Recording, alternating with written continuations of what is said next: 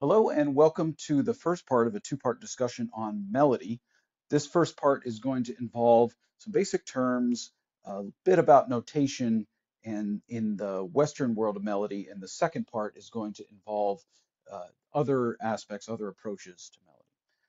So when we talk about the Western approach to melodic content, um, and we'll don't worry, we'll get into definitions, you know, like what is melody, that sort of thing. We'll get into that in a second.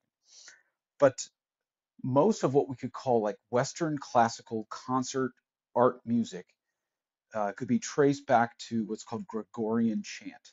Uh, so very, very quickly, uh, this was uh, Pope Gregory uh, wanted to uh, come up with a a way to write down musical notation for the singing of sacred texts.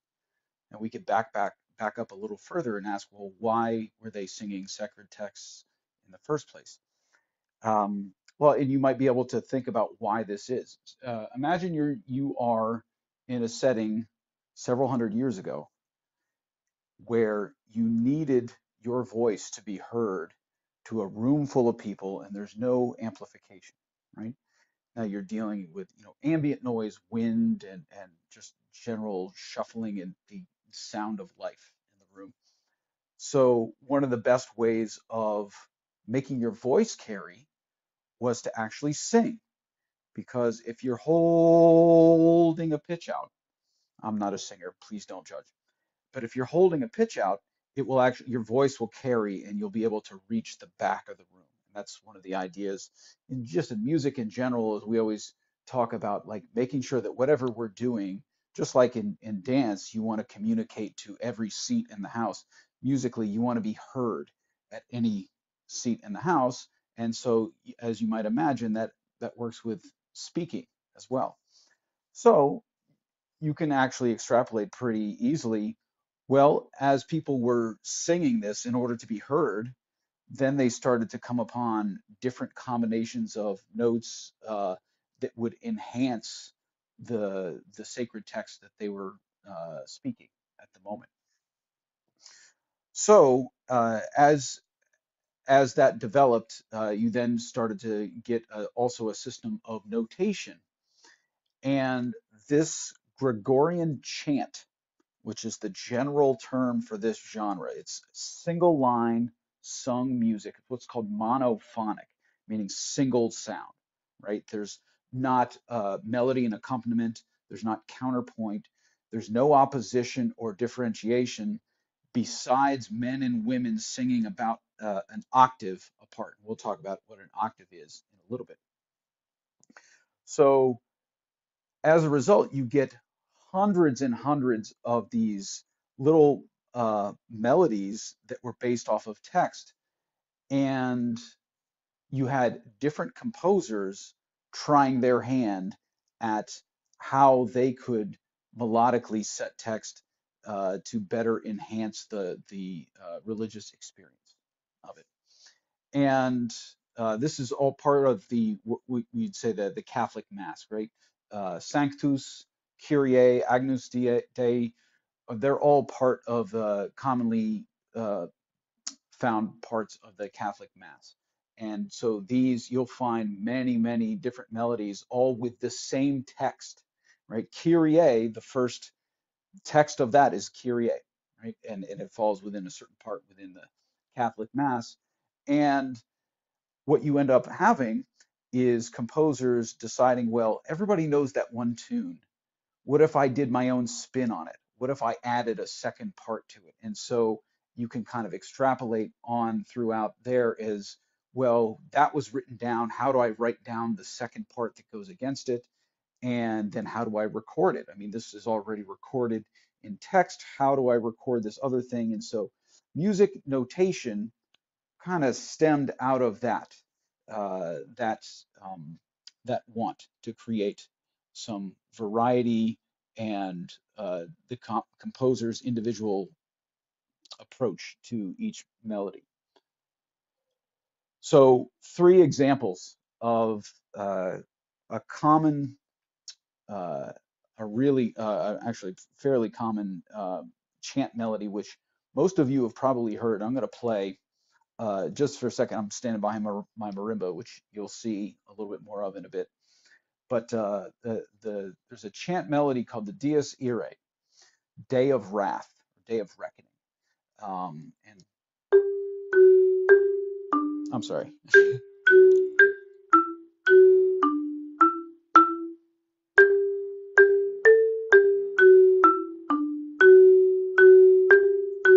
right? It's that basic sound. And so that might sound familiar. There are, uh, here's three examples, and I'm going to put them uh, in a link in the description just to, for you to listen to a few, uh, few seconds of each of these examples. One of them uh, you may or may not have heard of. It's part of a, a composition by a French composer named Hector Berlioz named uh, Symphonie Fantastique. Um, and it's a very dramatic use of brass, right? This is, we're you know, fast forwarding into the 19th century uh, when this particular chant uh, melody showed up. All, you know, it was hundreds of years later after it was created. Um, 20th century, we get uh, Carmina Burana, O Fortuna, right? It's a little bit more buried in there, but when you listen to that, and again, this is another one I'll, check out the description so that you can see and just listen for a moment so you can see if you can hear the, uh, the shadow of that Dies Irae melody.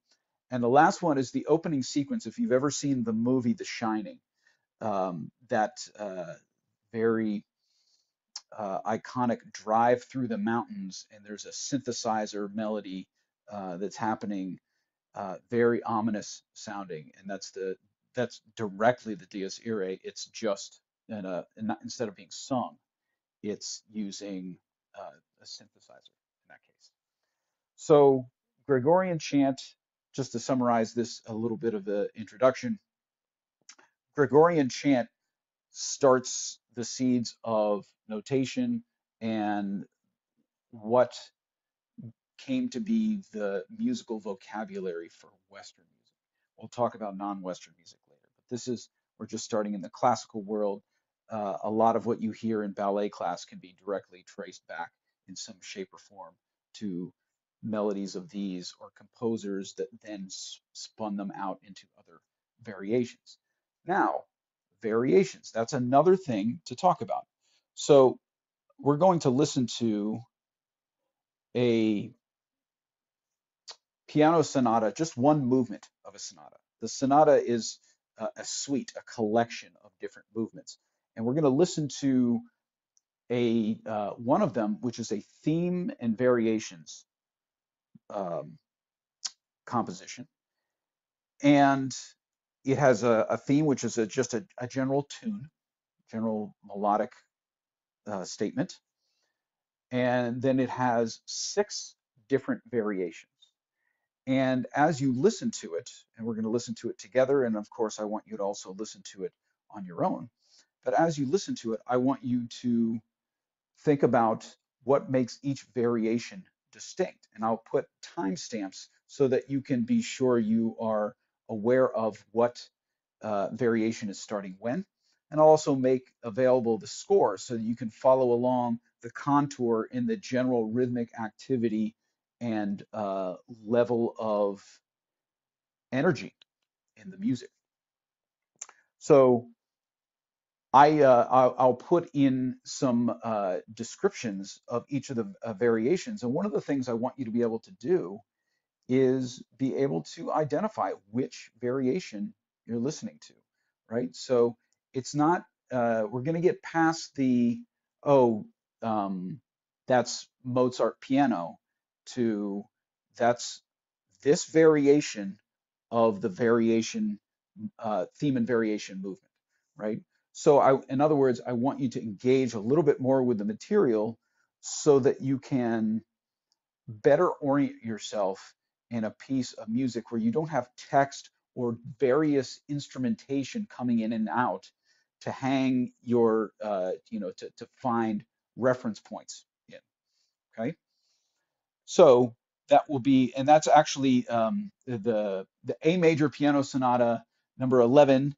Um, And this is the one where the last movement is the the the Turkish march, uh, right? That one, right? That was on the spur of the moment. I decided to play that for you, but that's the last movement of uh, this sonata. But we're going to listen to the first movement of it. So some terms, right? Let's get into the terms. So what is melody? Well, uh, with the movie uh, metaphor that we talked about in the beginning of the class, this is the narrative. This is the story. Uh, the singable part, the, um, the recognizably singable part. Uh, if you have words in a song, if you remove the words, the melody is what's left, right? So if you think about that, that means that if you start listening to music and imagining what would be left over without the words, you can start to assess it in very different ways. Uh, this is what gives music kind of an arc, a storyline of beginning, middle, and end. So as you listen to those themes and variations, see if you can hear how the melody uh, introduces itself and many times will sound like it reaches a halfway point or like a question and then continues on to answer that question. Or you could think of it as stability, instability, stability again, right? And that's a very common thing. Like we, we can't, there's no motivation for action without instability. If everybody's comfortable, why bother changing anything, right? And as we, talk, especially as we talk about jazz, that's going to be uh, jazz and jazz harmony, especially. That's going to become something uh, that becomes very relevant is the uh, consonance or stability versus dissonance or instability. Just a little aside there. So the basic raw material of melody is pitch or specific frequencies. Frequencies is actually measured uh, scientifically. We can measure it in cycles per second, um, and that's by the way when you tune an instrument where, uh, for example, this note right here. Matter of fact, I will switch the camera just so you get a little glimpse of what I'm playing right here. This note right here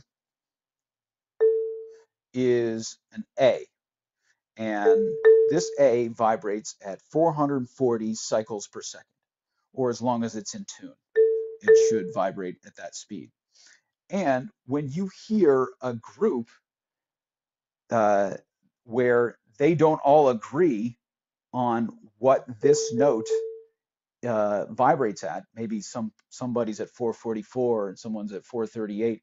Um, that's what gives music, especially if any of you have ever played in uh, like you know school band, especially like as as you start to you know start off in the beginning stages of things if you ever play in the school band and you hear that sourness or you've gone to a school band concert and it sounds like you know something's a little bit unsettling it's because there's a disagreement whether they know it or not uh, whether they're aware of it or not as to where for example this note is exactly the cycles per second. And so the better the group is the more that they can agree whether it's 440 or 442, or in, in Japan, I believe it's 444 uh, is the reference point that they use.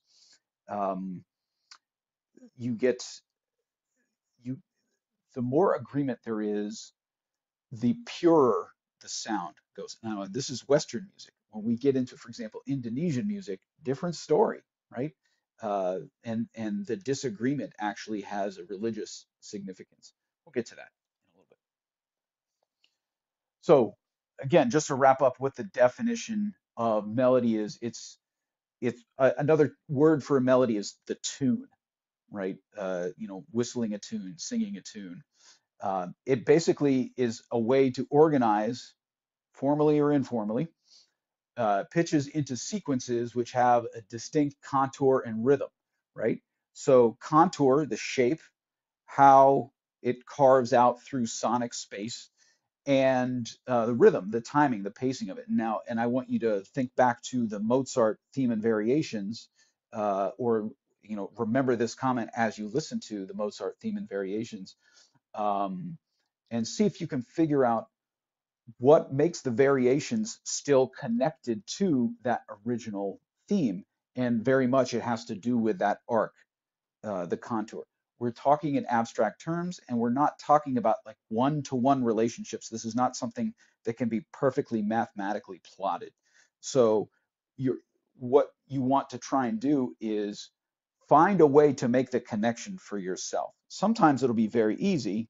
Sometimes you'll have to listen past the surface of the music. You'll have to listen beneath the surface to hear, and it will take more than one listening, right? So you will be rewarded for your attention coming and coming back to something and listening to it uh, because you'll be able to pick up more relationships right uh, between an original melody and a varied melody but what makes it be able to be varied in the first place but still be recognizable as uh, something related to that first thing is that there are certain aspects uh, that are distinctive uh, in a given song? Some songs more than others, some pieces more than others, to use the proper term. And we'll move on here. So every culture has its own way, and again, we're like this is a little bit more of a 10,000 foot view here, but every culture has its own way of organizing um, uh, melodies so that not everybody in the world, so that like we talk about pitch being the basic uh, material that melodies are made out of, not everybody in the world would agree that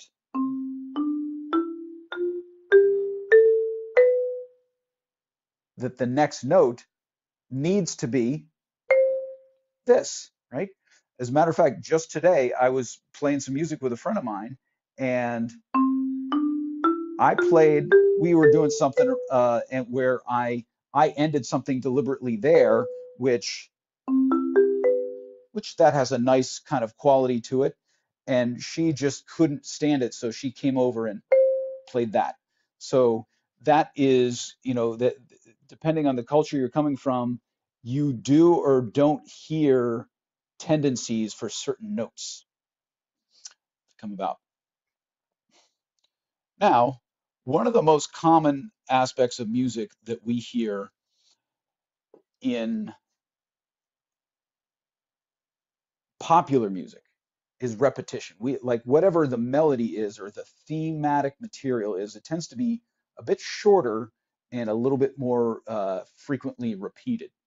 Um, now, Western music calls this an ostinato. That's the term I'll, I'll throw in the description there so you can check it out. A short, repetitive, and distinctive musical pattern. Uh, sometimes these are also called riffs, especially when they're associated with guitar playing. A riff or an ostinato riff can also be used a little bit more freely, uh, and it, it implies a little bit of spontaneous um, generation. You know, I'm riffing off of a theme as opposed to I'm playing an ostinato. An ostinato has a little bit more of a formal kind of suit and tie uh, connotation to it. Um, I'm going to put, and I want everybody to check this out. I'm going to put a very small score sample in the music uh, or in the sorry in the, the video description. And I want you to check it out and see if now maybe you your your music reading was really good before you even took the first year music curriculum. Um, but even if you can just remember how to read the rhythms and you look at the tempo in there, it's 112 beats per minute. I want to see if you can guess what song this ostinato is, just so you can kind of put a face to the name or, or put a face to the voice, rather. Um, so this is, and again, one of the my hopes for this class is that you can start to feel comfortable using slightly more specific, intelligent, and universal terminology in your communication with musicians, composers, dancers, producers, uh, stage managers, anybody involved, uh, so that you don't have to on the spot invent terminology when there's a perfectly good existing word already for you. So I'm gonna, I want you to check out that ostinato, the mystery ostinato, and I'm gonna put in, and I want to see if you can figure out what it is. I'm not gonna tell it to you, but it might make an appearance uh, on an exam. All right. So now let's get a little bit into the nuts and bolts of the notation and uh, and how that relates to the piano keyboard layout. So why do we use the piano keyboard? Well, the piano keyboard, and there's uh, going to be a couple graphics that I want you to refer to. Um, uh, keyboard graphics. I'll, I'll name them keyboard graphics. Um, that also show how uh, music is notated in correlation and correspondence with the notes on the keyboard. Why do we use piano? Why do uh, a lot of the best musicians in any genre, or almost any genre, um, have a piano playing background, even if that's not their primary instrument? Why that is? And I wonder, you know, before I answer that question, pause the video, give it some thought. Why might that be? Why is the piano uh, an instrument a good uh, kind of jumping off point and de demonstration point? And while you think about that, I'm going to switch cameras and move over to my other location. So you're thinking about that question, right? And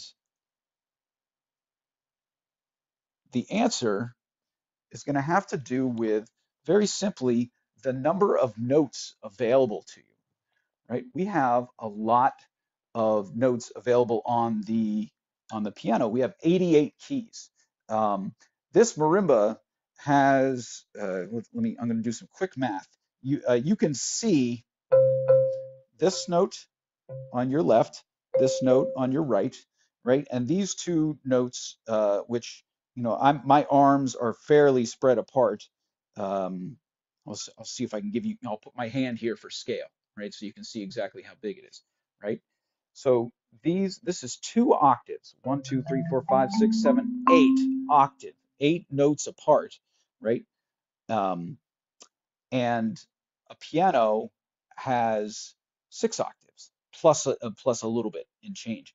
And this is probably, I would say, about three feet apart from each other. So the piano, because the notes are smaller, you can fit a lot more uh, range, a lot more lower notes and a lot more higher notes. And therefore, it can encompass almost all of the music that human beings are going to be able to distinguish. Of course, we can get higher notes, but uh, the piano does a great job of anchoring down the range of functional and usable, there's my hands, the functional and usable uh, musical range that human beings can uh, can enjoy.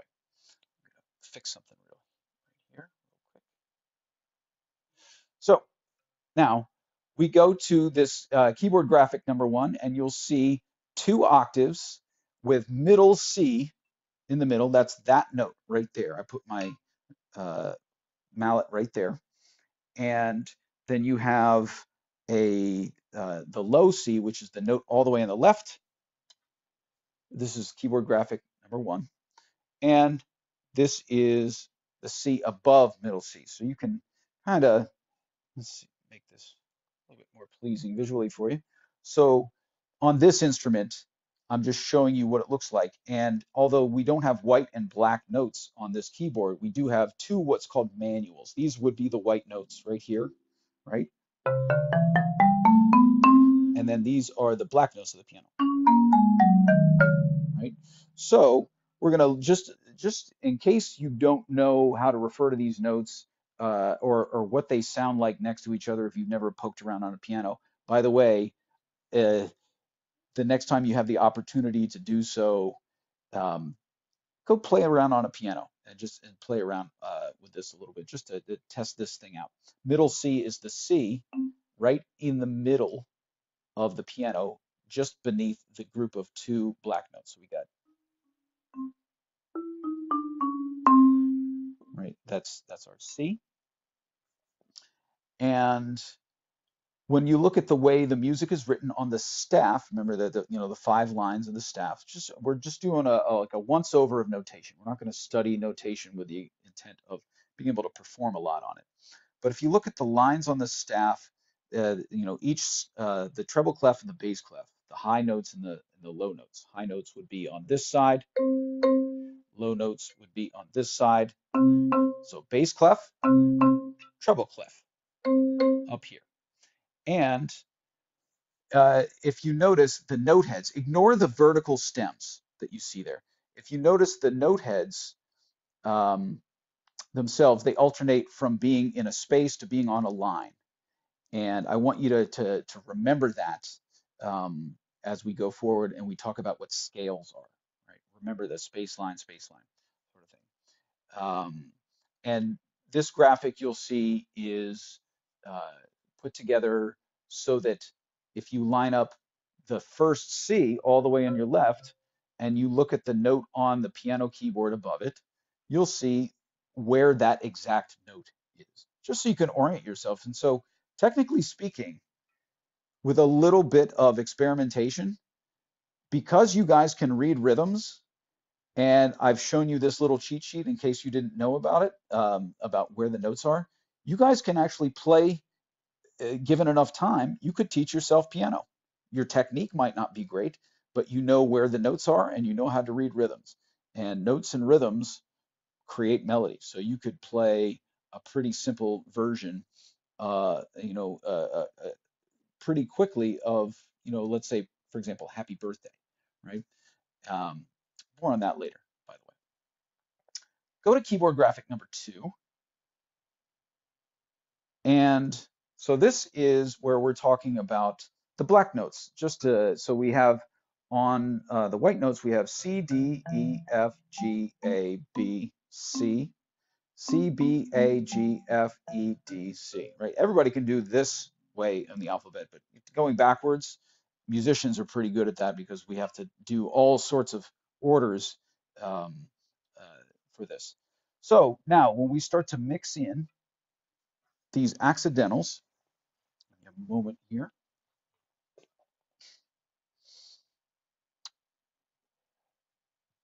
we're going to use all told, go to, and as a matter of fact, uh, so you're looking at the, the, the second, uh, second keyboard graphic. Um, in the Western system of naming notes, how many letters did I use before I repeated one, right? Think about this. How many letters, you know what, I'll switch my camera back just to bring things back, a little variety here. But how many letters did I use, right? C, D, E, F, G, A, B, C, C, B, A, G, F, E, D, C. Seven letters, right? Right. The eighth, remember that octave, is where we repeat the first one.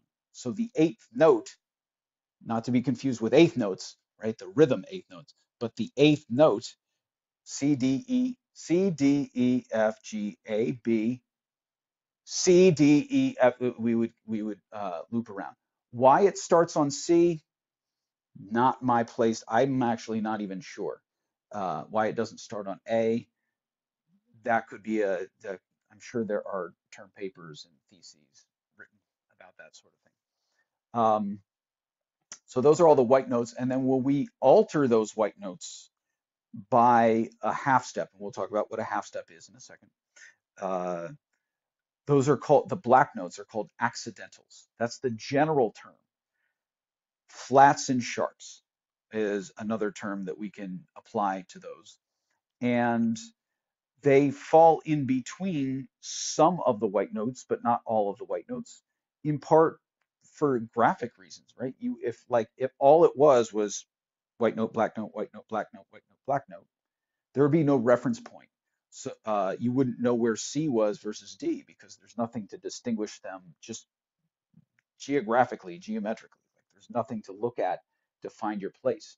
So the groups of two and three are in part a way to uh, just keep your place within an octave, right? And so we have flats and sharps, uh, uh, and those are the black notes. Now, each of these black notes has two different spellings. Um, because you could say, well, what, you know, why is this note sharp, but the other black note is flat? Well, it's because actually all of the notes, all of the black notes can be spelled two different ways. So if you think of homophones, right? Two words that sound alike but are spelled differently, like your and you're, or there and their, right? The internet is great at pointing out which one is, should have been used. Um, right? Where, what determines which one is used? Context, right? Ultimately, the sound, if you're just talking, it doesn't matter which spelling someone was thinking in their mind because the idea is communicated clearly by the context, right? Um, so for example, if we go over to the note F sharp and we talk about F sharp is just here, right? This note, right? Well, is it F sharp or G flat? Well, F is right here, and if we make it sharp, if we raise it to the next available note, right? F going up and to the right, we're going that way to the right. That's F sharp. If we have G and we lower it to the next available note, we're making it flat, the next available note to the left. Well, what determines which note we're in or, or which uh, what the spelling is? It's just, well, if we're in the key of G major, for example, you don't have to know this, don't worry, but uh, then it would be an F. And if we're in the key of D flat major, then it would be a G flat. So it's basically like when we're climbing that ladder, right? When we're looking at the that scale that's uh, laid out, it's going to be a way to uh, just make sure that we don't take two steps on the same rung of the ladder, right? Just, just semantics. But I, one of the reasons I, I wanted to talk about this is because part of my job is to answer the questions that like may have started to occur to you. Like, oh, you know, I don't have a musical background, but like I know sharps, I know flats. When do you use what? Why are they called what they're called? Now you have a little bit better of an idea. Let me know if you need more clarification. I'll some. Um, let's go on.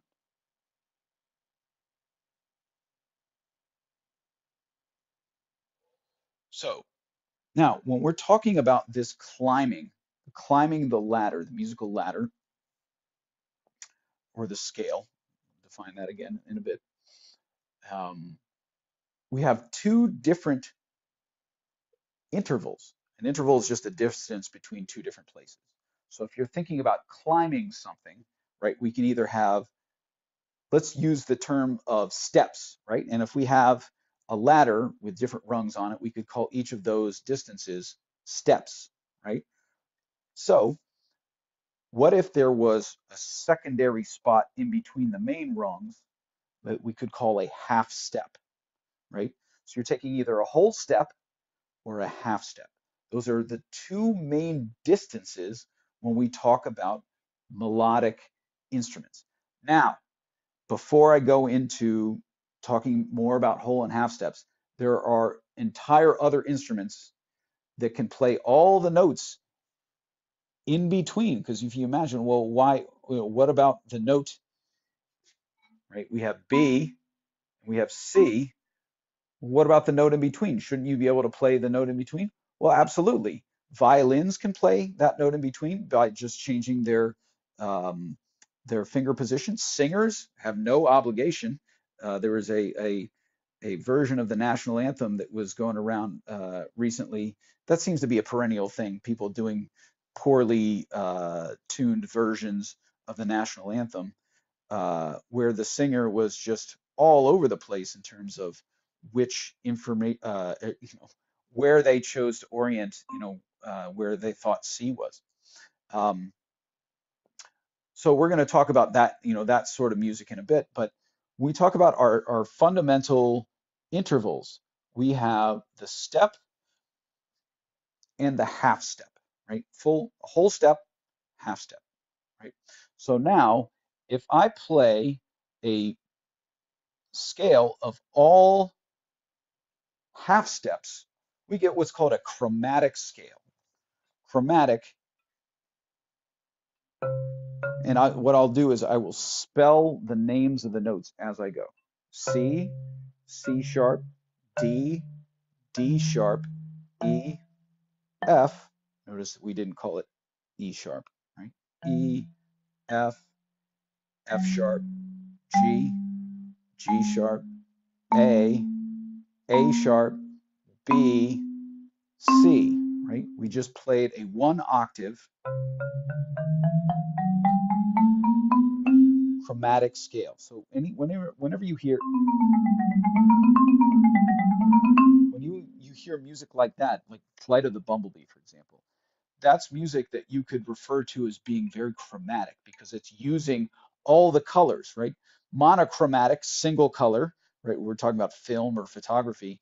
Uh, and then uh, we have, in this case, we have, well, the, the musical term will just be chromatic music as opposed to the the alternative is diatonic, right? Two interval, di, dyad, like you know, two of something, uh, two interval bass.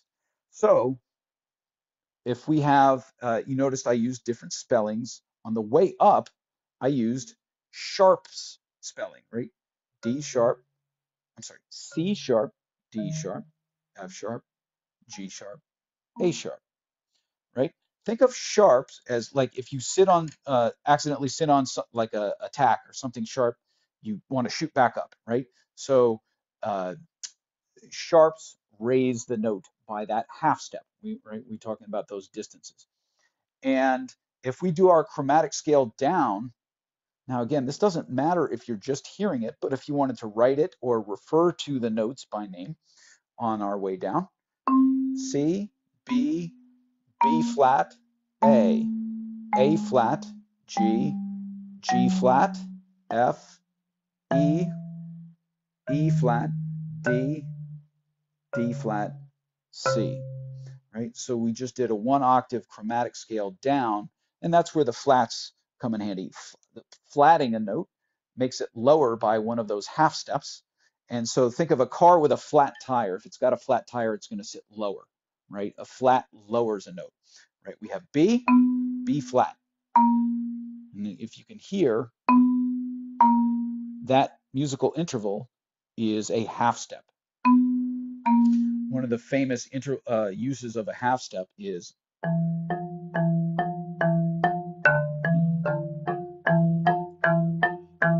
the Jaws theme.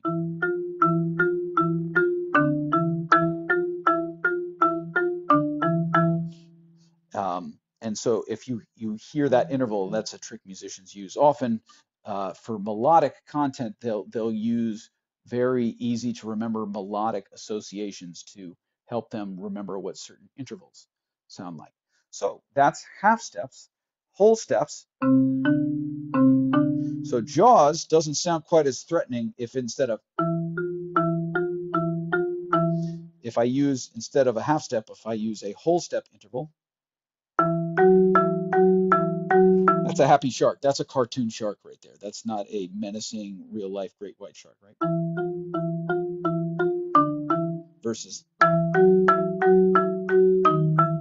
right? So we can actually change the character of the uh, the melody by shifting around what intervals we use.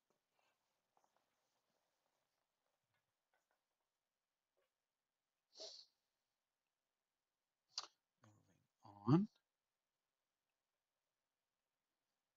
So we finally get to define what is this scale, right? So I've, I've used that term before. The term scale and the term key are, are interesting and useful terms to understand because it gives it, again, it just gives you a way to refer to things. Scale, key, chord, arpeggio. Chord and arpeggio, when we talk about harmony, we'll talk about those terms. But right now, scale and key are what we're talking about. So a scale is going to be, a, here's a definition for you, and this is something to write down. A scale is a sequence of adjacent notes, right? Notes that are next to each other in ascending or descending order. And so this is where we, you, I've been using that ladder uh, analogy. Think of these like a ladder. So like we're going up and down. We use them to climb and descend, right? Scales and in stepwise fashion, right? Uh, ladders have rungs that are easy to easy to climb. Scale and climb, like the verb to scale something, to climb it, right? That's where this uh, this this term comes from. Um, it, the, the reason that they are easy to climb is because the steps are close together, right? If they were far apart, well, then it wouldn't be very useful in climbing and descending. It would be safe, it would be practical, right? It's not designed. And likewise, scales are designed around what's comfortable for the human voice. It's easier to sing notes that are close together. If anybody's ever sung in choir, you know that, especially like the alto part uh, and the uh, the inner parts, the alto part, the tenor part, the notes are pretty close together. And then the soprano part, the high part, you know, the slightly more featured part, might be a little bit more adventurous. But in general, the easier the music is, the closer the notes are to each other within the scale, right? You can have, in some cases, music that is entirely based on singing notes that are just right next to each other. Pretty easy to do on the voice, easy to conceptualize, easy to execute. So there are different types of scale, and the most common one that uh, Western music teaches is what's called the major scale. So major, uh, think, I guess you could think of it as primary, and you know, as a synonym for major, but you could also think of it as large. And that has to do with some of the intervals within the scale. And we're not going to go into that because then we start to get into music theory. And that's where one, I start to lose people. And two, it's like a, how does this help me? Because it doesn't as quickly connect you with training your ear, given the amount of time that you and I have together to, to work about, work on these things and talk about them. So for us, think of the major scale as being the predominant scale. And indeed, that scale that I played before, C to C, all white notes, that was called a major scale. Play it one more time for you.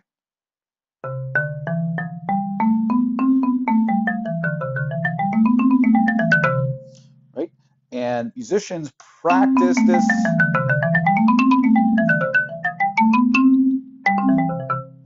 musicians practice this sort of thing to develop instincts and uh, physical relationship with their instrument. So that, that, that, by the way, that little thing that I did at the end was not uh, a scale. That was just a little flourish. I don't want to confuse you. The notes that were ne right next to each other are, are the things that are part of the scale. Now, major scale, there are also minor scales, pentatonic scales, right? So uh, the major scale, if you remember, has seven different tones: C, D, E, F, G, A, B, and then C, D, E, F. Uh, geez, you get the point. Um, so pentatonic would be instead of seven tones, there would be five tones. A lot of popular music and folk music alike use pentatonic scales instead of major scales, right? Now, you can find a pentatonic scale within a major scale by just omitting two of the notes. And that's very commonly what's done. Matter of fact, I'll put a little uh, video, uh, I'll attach a little video so that you can uh, hear someone. Um, this is the second time in the course we're going to uh, bring up Harry Connick Jr. Um, but uh, you'll hear him talking about the use of pentatonics when he's, uh, I think, I believe it was like an American Idol contestant. I'll put it in there um, and you can um, hear him react to that and kind of call it out um, in a certain way that basically just ties in that you know someone was indeed doing uh, a type of scale that wasn't terribly original. Not to say it wasn't good, but it just wasn't original. It was something that's very heavily used in popular music.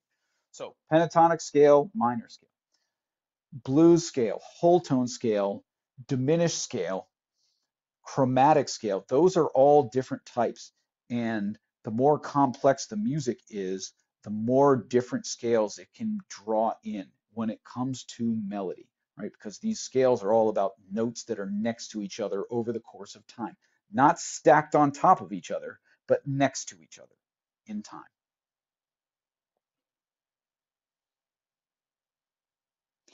So our major scale, now if you remember, we have a whole step and a half step.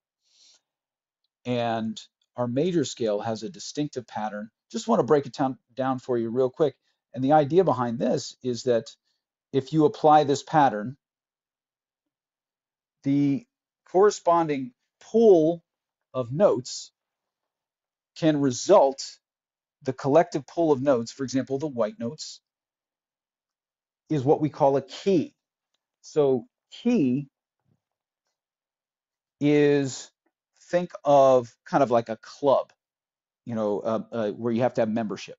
So white notes are all in the key or in the club of C major. And the intervals, you've heard the scale many times at this point. So the intervals, well, we have C to D. See if you can, before I say them, see if you can name which of the two intervals that it's going to be, whole step or half step. Those are the only two that I'm going to give you right here. And just a reminder, if I play, let's start on C, do this one so it's easier for you to see. If I do C and then I do a half step up, that's what it sounds like. Don't worry about what it's called or what it looks like. Just listen to it. And if I do a half step down, that's what it sounds like. So.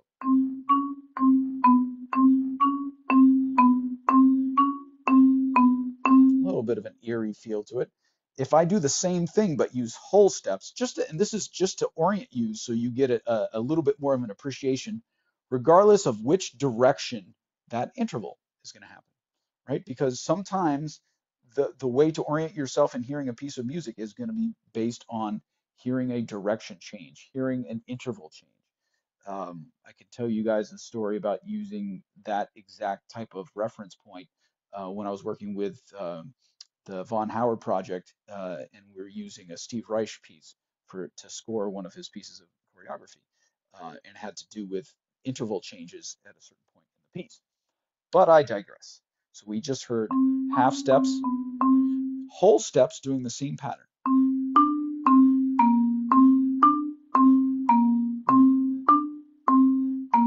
And we could actually keep going out.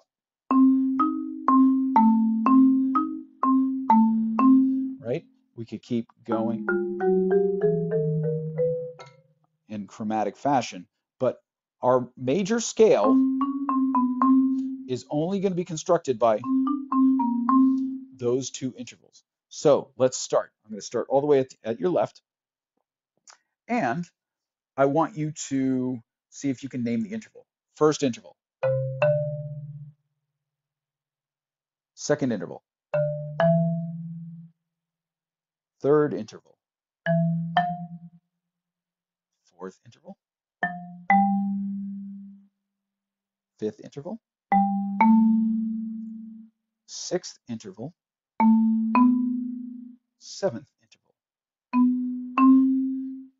Now, if you want to try that again, rewind it a few seconds and go back over and see if you can, in the space between when I played each pair of notes, name which of those. Say whole step, half step right? So now I'm going to say them.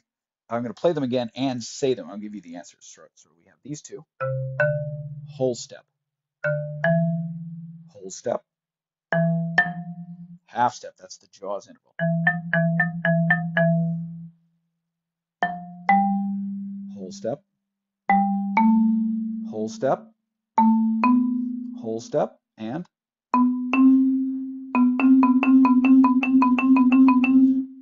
half step at the end. So you put them all together without the repeated notes, and we get this interval pattern, whole, whole, half, whole, whole, whole, half, whole, whole, half, whole, whole, half, whole, half. Sorry, I shouldn't talk over it. I'm going to play it one more time without, right? So you can hear those intervals.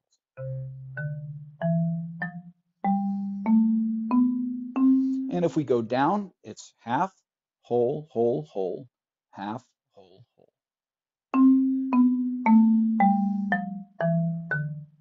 Now, this is a pattern. Again, you've, you've heard this. Now you get a better understanding of it. I can plug that pattern in based on any starting note. So what if I want to start here? Well, same exact interval pattern. That's what makes it have the same character is the interval pattern and the quality of the, the melody, in this case, to tie it back into to melody that we were talking about, uh, has everything to do with these little minute changes in distance, right? I can play starting on any note.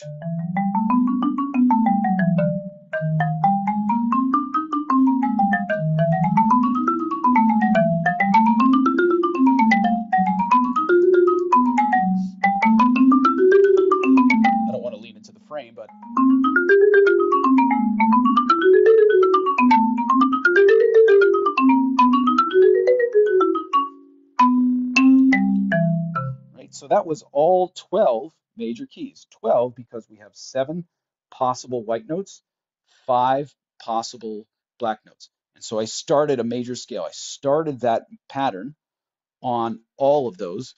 And again, that's part of the beginning of the training of musicians is to learn how to, to command your instrument to play each of those patterns,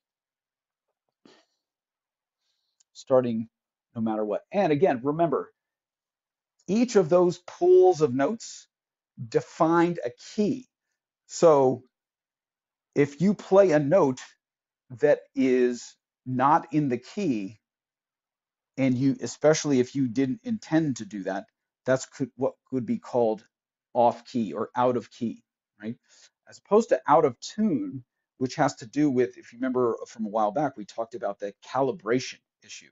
We talked about uh, making um, making sure that uh, uh, everybody agreed on the cycles per second, that sort of thing. Um.